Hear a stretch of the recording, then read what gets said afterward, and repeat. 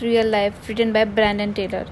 He was born in 1989. He is an American writer having initial study biochemistry. He received fellowship for his writing from Lambda Foundation and Tin House Summer Writing Workshop.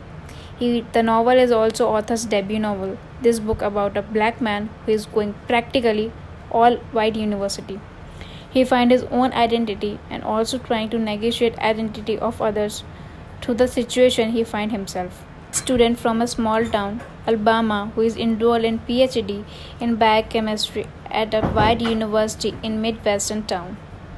He is anxious about Ray about how his status of African American. He is continuously has to prove himself to tolerate racism. He has written the book about being gay abusive, bringing his experience of sexual violence.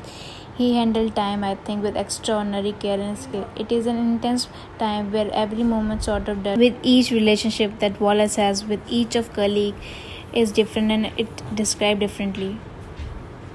I think with an enormous amount of care, texture, detail by watching how they deal with Wallace and how Wallace deal with them. Wallace is aware of the distance between the sort of low grade racism and also he's homosexual and hide people that his father is dead. Some point that add intensity to the book. No moment in this book is fully sweet.